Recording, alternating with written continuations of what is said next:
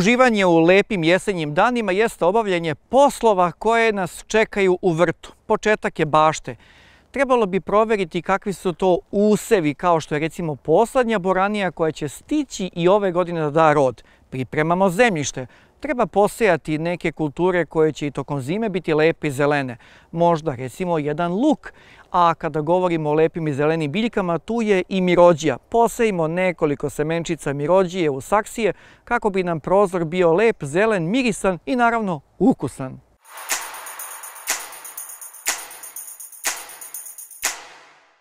Ova godina je pokazala izuzetno toplo i lepo vreme tokom jeseni i ova jesen se produžila, tako da po nekom mom razmišljanju smatram da oktobar u kome sada uživamo od dinom suncu više podsjeća na jedan septembar. I taj septembar koji mogu reći da je uvek blagorodan i donosi puno roda iz naših bašti i ove godine naravno može biti izvanredan ukoliko je neko u septembru posejao biljke, rasad, povrće koje je naravno kasno povrće i očekujući lep oktobar sada je rezultat baš na mestu. Oktobar je takođe topao, noći su topli, dani su topli, puno je sunca i što je zanimljiva stvar, zemlja je suva. To je veoma važno jer suva zemlja doprinosi visokoj temperaturi. Pored mene nalazi se boranija koja je posijana 1. septembra i sada je u punom cvetu i već ima pomalo zametaka koji su možda 2 do 3 cm dužine. Ono što ja znam da boranija koja se naravno poseji, koja je 2 do 3 cm dužine, vrlo brzo će početi lepo i fino da se razvija i iskoristit će toplo vreme i uspeće da oformi rod. To se ne dešava svake godine. Zato je važno da svaki baštovan prilikom rada u svojoj bašti u vrtu jednostavno poseje neke vrste povrća. Pa bez obzira na to što će da sačeka i da vidi da li će nešto uspeti ili neće, svakako treba posejati. To je bio rizik. Ja jesam posejao boraniju koja je rizik, ali sam se odlučio da posejem nisku boraniju, šarenu boraniju tipa darina ili šumadinka ili takozvani zmajev jezik, koja je jedna od najbržih koja stasava na zrenje.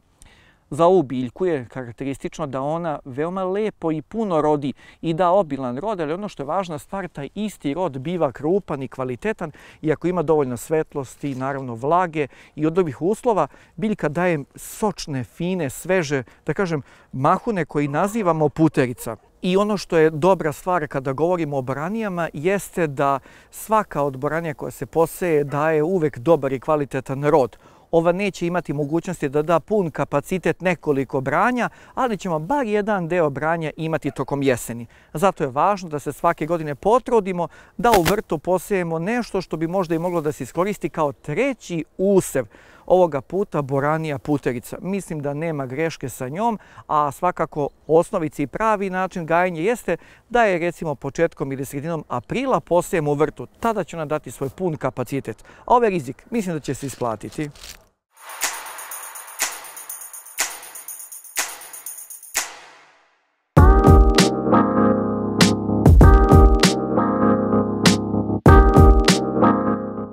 Freziranje zemlje je važan segment kada govorimo o pripremi zemljišta, pogotovo za jesenju setvu.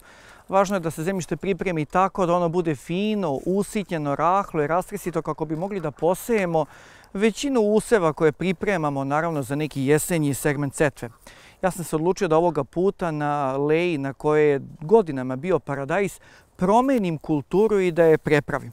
Ja sam na ovoj leji držao špalir za paradajs koji je po meni bio veoma dobar i kvalitetan i posle već šest godina rasta i razvoja paradajsa na ovom mestu, trenutak je da se promeni usev. Naime, Na mesto na kome se gaji paradajz, zemljište se jako obogati stajskim đubretom. Ja sam svake godine unosio novu i novu količinu stajskog đubreta kada se radi sadnja u samom špaliru i odnosno na samom paradajsu, ali takođe je važna stvar da to zemljište koje je imalo špalir nije bilo gaženo, odnosno nije bilo oštećivano stalnim gaženjem između samih leja. Zato je to zemljište lepo i rastresito trenutak je da se zemljište pripremi. Možda je suvo vreme i naravno ova lepa topla jesen doprinelo da možemo da uradimo naš vrt. To je važno uraditi zato što kada obrađujemo zemljište, u trenutku kada je zemljište suvo, tada možemo da pripremimo naše zemljište kvalitetno kako bi ono opstalo i bilo i rastresito i rahlo, ali što je najvažnija stvar da se ne slepi.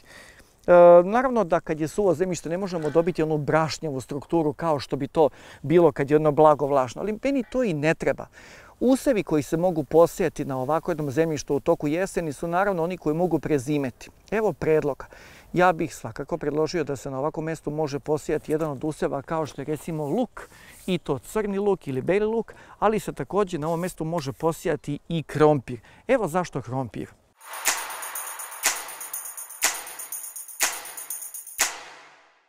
Sređivanje bašte se odnosi na uklanjanje ostataka koji su ostali iz prethodnog useva, ali naravno na pripremu zemljišta. Međutim, važna stvar o kojoj smo pričali jeste i rotacija useva, odnosno smena vrsta koje su gajene na jednom mjestu kako bi na njihovo mjesto došao drugi usev, čija je glavna uloga da iskoristi hranjive materije kojih ima u zemljištu, ali naravno da bude takav da ne koristi materije koje su prethodni usevi iscrpeli.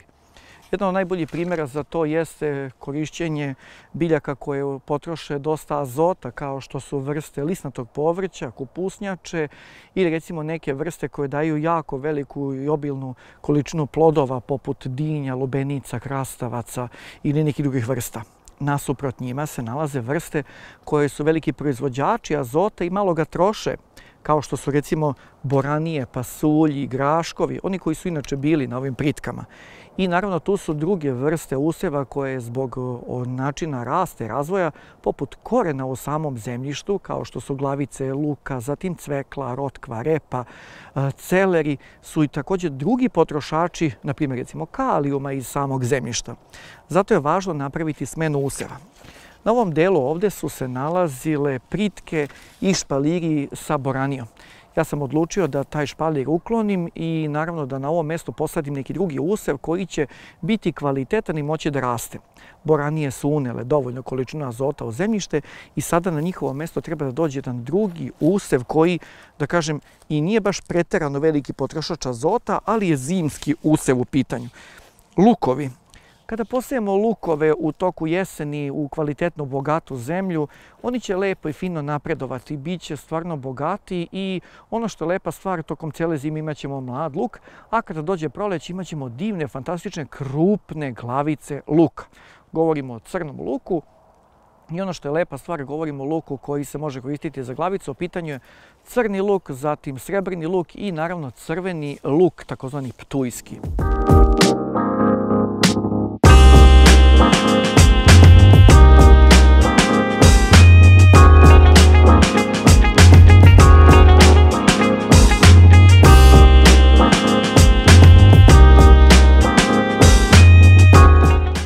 Jedan od meni omiljenih poslova u baštovanstvu predstavlja i sadnje lukovica luka. E, često se u žargonu kaže da pobockamo luk, odnosno da ubodemo čenje luka ili pak male glavice luka kako bismo dobili kvalitetan luk. E, kada govorimo o tome da je ovaj posao zahtjevan i dosadan, to naravno i jeste posao koji može da potraje neko vreme, ali predstavlja pravo uživanje za jednog baštovana. Nakon svih poslova koji se tiču radova oko zemljišta, bilo da je priprema zemljišta, freziranje, riljanje, okopavanje, grabuljanje ili bilo koji rad koji zahtjeva baš puno snage, ovo je još jedan od poslova koji je, da kažem, relaksirajući. Ukoliko su mogućnosti da kao što sam i ja ove godine napravio nekoliko izdignutih leja koje su podignute na visinu od recimo nekih 40 do 50 cm, onda je sama sadnja luka i značajno olakšana. Zemlja je dosta suva. Bilo je potrebno da se pripremi zemljište i da se naprave kanali koji su duboki nekih 5 do 7 cm i da se pripremi mjesto gdje ćemo posaditi ove lepe, bele lukovice luka srebrnjaka. Luk srebrnjak je vrsta luka koja se često koristi kao mlad luk, ali mogu reći da i kada ostanu glavice od luka srebrnjaka bude izvanredno za korišćenje tokom cijele godine i ono što sam ja primijetio to je da ovaj luk dosta dugo zadrži svežu i čvrstu glavicu i nema takav puno snage da isklija kao što to uradi crveni luk. Ono što je lepa stvar kada govorimo o lukovima jeste da ako smo dobro i kvalitetno pripremili zemljište možemo uraditi setvu luka, odnosno sadju lukovica baš zato što je sada još uvijek toplo, zemlja je topla, suva, rahla i to je trenutak da lako možemo uraditi zemljište u samoj bašti, ali ćemo također uspjeti da i dobijemo na vremenu kako će taj luk početi brzo da pušta svoje korenje, da oformi gornji deo i da veoma lepo začne rasti razvoj pre same zime. Šta se dešava? Kada uzemo luk i posejemo ga u hladnu zemlju, tada će i on čekati i patiti neko vreme. Što znači, ukoliko se odlučimo za sadnju luka koji će biti urađen početkom hladnog vremena, mrazevi, zima i ostalo, onda će taj luk polako da se priprema, da miruje u toku godine i da naravno ostane kako bi tek za narednu godinu dao struk mladog luka i dao lepe glavice. To je preporuka ako želimo u višku da koristimo glavice starog luka. Ali ako želimo mlad luk, onda svakako možemo raditi setvu lukovica u našem vrtu što ranije kako bi dobili lep mladi luk oni su biljke koje prezimljavaju u toku zime, što znači crni luk, bilo da je u pitanju srebrnjak ili žuti crni luk će bez problema opstati u vrtu, a ono što je lepa stvar znači da ćemo ga imati kao vrstu koja će tako lepo i fino da naraste i da imamo glavice luka na proleće, ali za sada mlad luk. Također treba znati da sam ja ovoga puta odlučio da posejem mlad luk dosta gusto. Zbog čega? Osnovica je da kada sejemo luk srebrnjak, da ga sada posejemo gusto jer ćemo svakako u toku zime i ranog proleća vaditi mlad luk, odnosno koristiti ga za salate i pripremu, tako da ćemo svaki drugi struk izvladiti i onda će ostati prostor za sadnju luka. Evo predloga. Ja sam sada sadio lukovice na razmaku nekih 5, 6 do 7 cm. Međutim, ono što je važna stvar da kada ostavim luk za glavice, treba ostaviti 10 cm između lukovica samog luka. Naravno, kada se izvadi svaka druga lukovica, ostaće dovoljno prostora, jer ono što treba znati, luk koji se nalazi iznad zemlje ima svoje pera koje rastu na gore, ali svakako da im treba ostaviti mjesta kako bi se i razvila glavica i oformio korenov sistem, ali naravno oformili veliki, da kažem, velike stabljike i listovi samog luka. Ja sam naravno ovoga puta napravio veliki razmak između leja. Ostavio sam razmak koji ću koristiti za srpnjak e, naravno u odnosu na drugu leju preko 25 cm i to nije potrebno za luk toliko ostaviti razmak. Već sam ja odlučio da luk ostavim tako što ću na mesto između luka rasaditi nešto zimskih useva. Bilo da je to u pitanju zelena salata, zatim rotkvica, nešto malo spanaća ili ću postojati čak i možda e, rukolu jer naravno ovakav prostor između luka će biti prazan pa zašto bi do mjesto stajalo prazno kada ga možemo popuniti drugim usevom. U toku zime nema korova, međutim to ne znači da mi našu baštu ne treba da održavamo. Postoje i zimski korovi, odnosno biljke koje napreduju čak i ako je hladno vreme, te nam bašta i mjesto gdje smo posejali luk, ako ga ne budemo redovno plevili, održavali u toku zime, može izgledati kao jedna lepa zelena livada. Sećate se priče o travi mišijakinji i nekim drugim vrstama zimskih korova. Zato sam ja i ostavio prazan prostor između luka kako bih mogao lakše da ga obradim, okopkam ili oplevim. A ukoliko napravimo zasad salate i spanaća, do trenutka kada luk bude narastao i bude mu potrebno više mjesta, do tada ćemo mi i ukloniti e, salatu i naravno spanać. I ono što je lepa stvar, na jednoj leji možemo posaditi sve vrste lukova. Za sada srebrni luk, žuti i crveni, a uskoro ćemo da posejemo i bejl luk.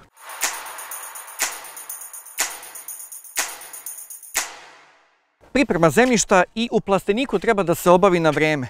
Bez obzira na to što je smena nekih useva kao što su paradajs i paprika, nekako poklapa se sa smenom drugih useva, recimo salate, spanaći, lukovi koje treba obaviti na vreme, ali moramo napraviti presek. Možda nam je važnije da malo ranije uklonimo useve paprika, paradajz, krastavac koji već i neće toliko zametati plodova, a da uhvatimo bar nekoliko toplijih dana kako bismo rasadili zelenu salatu ili recimo spanać kojima je baš važno da se u prvih desetak dana nakupe toplog vremena kako bi započeli rasti razvoj i kada dođe hladno vreme da mogu da opstanu i naravno i da budu kvalitetni u toku zime.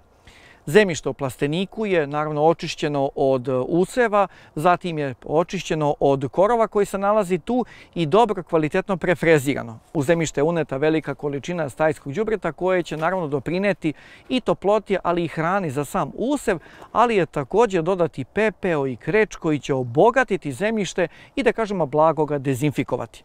Ja sam plastenik ostavio od nekoliko dana da se lepo fino prosuši jer mi je važno da se na samom zemljištu stvori taj suvi sloj kako bi na taj način nestale, da kažem, gljivice ili neki drugi agensi koji se nalazu u samom zemljištu, a da bi nakon toga mogao lepo i kvalitetno da rasadim rasad jesenje, odnosno zimske zelene salate.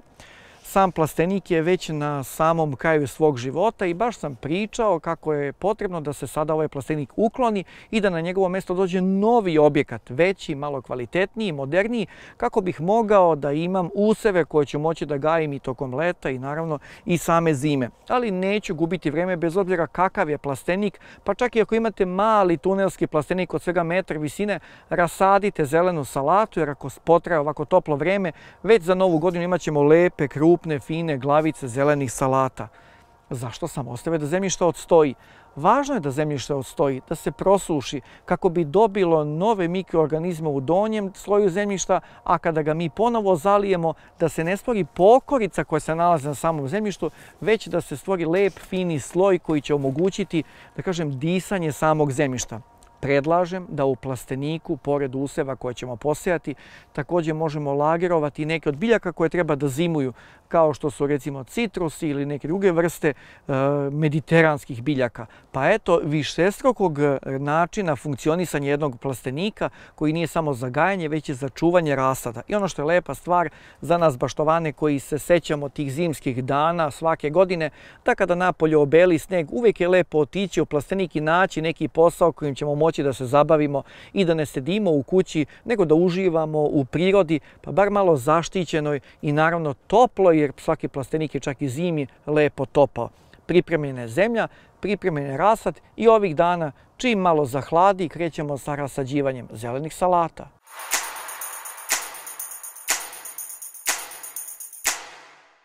Potrudio sam se da svoj vrt pripremim u jesen kako bi bio dobar i kvalitetan za zimu i kako bih neke od useva mogao i na proleće da dočekam spremne, odrasle i naravno pripremljene tako da prebrode zimu, a da rano proleće daju dobar i kvalitetan rod. Međutim, za one koji nemaju svoj vrt mogu pripremiti svoj prozor ili recimo zastakljenu terasu sa biljkama koje će biti fantastične tokom cijele zime. Naravno ne samo fantastične po izgledu, već i korisne. A šta korisnije od jedne baš tako često potrebljavane biljke kao što je mirođija nekada neopravdano prokomentarišemo kako je mirođija za svaku čorbu, ali ne bih ja baš tako rekao. Mirođija je veoma važan e, začin koji se može koristiti za dodavanje jelima.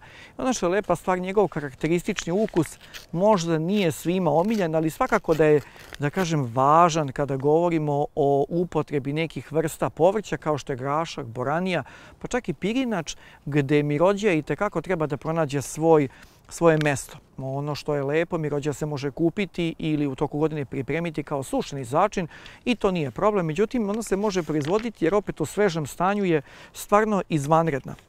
Jedna kesica mirođije koju možemo naći u vrtnom centru je dovoljna da posejemo mnogo, mnogo saksija rasada, ali ja sam ovoga puta odabrao nekoliko saksija koje će biti pripremljene sa rasadom koji ćemo uneti u toku zime u kuću i moći da ga koristimo kao naravno sveži zeleni materijal. Moj predlog je da se uzmu saksije koje su veličine 10 cm i te saksije mogu biti čak i obične saksije ili recimo nešto manje ili veće, ali svakako ne mogu biti one male 7 cm kao što se koriste za cveće, jer opet mirođija je biljka koja je dosta lepo naraste. Seme mirođije se može kupiti i naravno što je dobra stvar, semenke su dosta krupne. Kada pogledamo semenku mirođije, ona je stvarno lepa i fina pljosnata, podsjeća na jedno krilce i ono što je lepa stvar kada govorimo o semenu mirođije, uvek možemo iznova, iznova sejati biljke jer ga ima u naravno vrtnim centrima apotekama tokom cele godine za nas koji se bavimo paštovanstvom, mi možemo i sakupiti seme mirođije koje se baš u ovom trenutku može naći u vrtu kao lepo narasla biljka koja se može obrati za proizvodnju za narednu godinu. Predlažem da saksije napunite tako da budu napunjene pa da kažem 2 cm do vrha. To je važno jer semenke koje su posejane kod mirođije ne mogu ostati na površini, trebamo ih prekriti sa slojem zemlje. Broj semenki koje smo naravno odlučili da posejemo za mirođiju može biti dve do tri semenki ili nešto više, a ja predlažem da svakako posejete više jer se dešava nekada da mirođija, bez obzira na različite kvalitetne uslove kao što je temperatura, vlaga i osvetljenost, ali i bogato zemljište ne klija. Što znači dešavalo mi se da posejem mirođiju pa da nije baš tako lepo klijava. A dešavalo mi se da posejem mirođiju i da svaka semenka nikne pa čak i u vrtu gde se prospe seme mirođije, ona nikne na sve strane.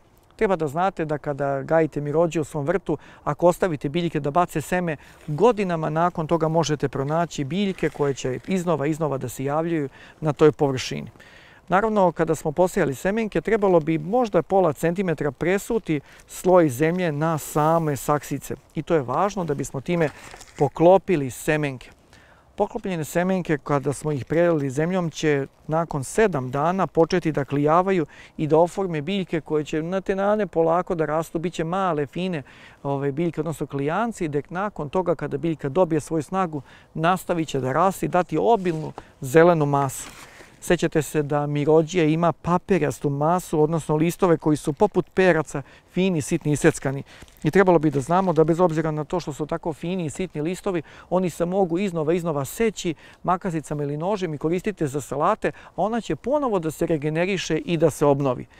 Mirođija se može koristiti tako da se koristi u svežem stanju, ali ukoliko imamo više mirođije tokom godine ili recimo u stanu, možemo je seći na delove, stavljati recimo u posude i zamrzavati, to je također lep način pripreme mirođije, ili se može seckati mirođija, blago prosušiti i staviti u maslinovo ulje, gde i u ulju može biti dobro da bi se dobilo to lepo aromatizovano ulje i da se kasnije koristi za pripremanje jela ili za pesto ili pak recimo za neke vrste testenina koje su naravno uvek dobro došle. Namerno sam posejao sada mirođiju jer je važno da ona klija na toplom vremenu. To je letnja biljka, zahteva za klijanje temperaturu preko 20 stepeni i kada smo mi postavili te semenke na klijanje i kada biljke dobiju određenu dimenziju, treba da ih strogo unesemo unutra jer baš nisu ljubitelji hladnog vremena. Čak i na pojavu noćnih niskih temperatura oko 10 stepeni već će se zaustaviti u porastu, počeće dobije žutkastu boju. Ali kad je unesemo na svetlo mesto ili je unesemo u recimo stan gdje se greje, izvanredno će napredovati i bit će lepa. Dobra stvar je što mi koji imamo plastenik možemo ih uneti u plasteniku i time produžiti period rasta i razvoja mirođije. Ali za vas koji nemate plastenike, par saksija svakako može biti na nekom prozoru lepa i nada sve korisna biljka. Predlažem da mirođija bude sastavni deo našeg kućnog vrta, tako da za početak počinjemo setvu biljaka za zimu. Ovoga puta mirođija. Svakako će naći mesto u bar nekoj čorbi. We'll be right back.